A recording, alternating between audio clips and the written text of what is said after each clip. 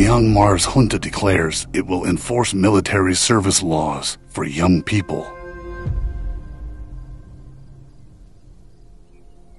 All men aged 18 to 35 and women aged 18 to 27 must serve for up to two years, while specialists like Dr.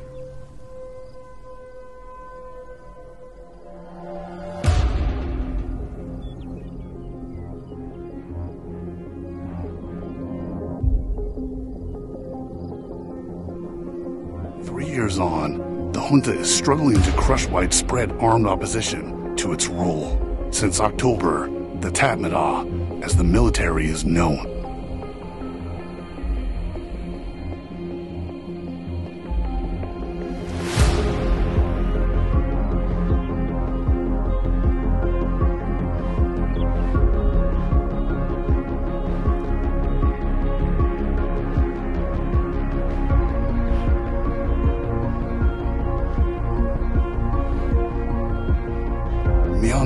army betrayed and become PDF army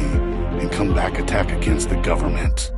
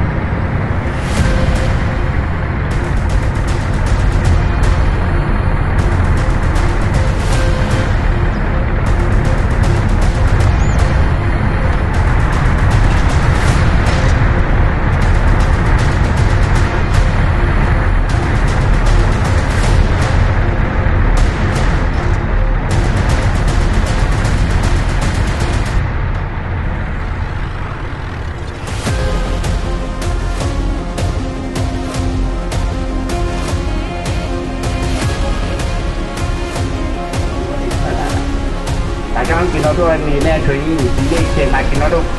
စက်ပေါင်းစုခိုင်ခိုင်မာမာ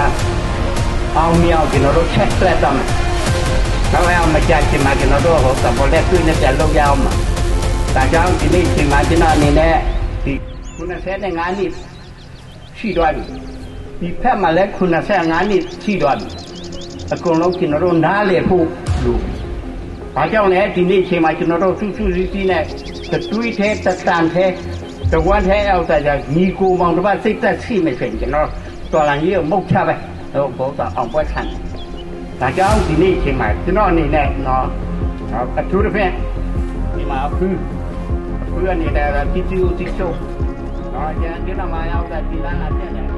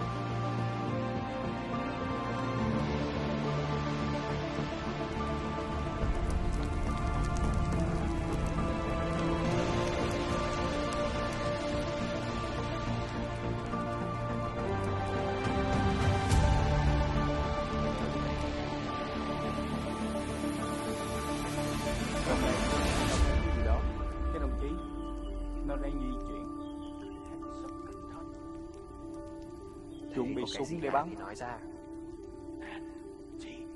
Nói cho chỉ huy biết. Là chuyện ra đây có cái gì gì đó nó không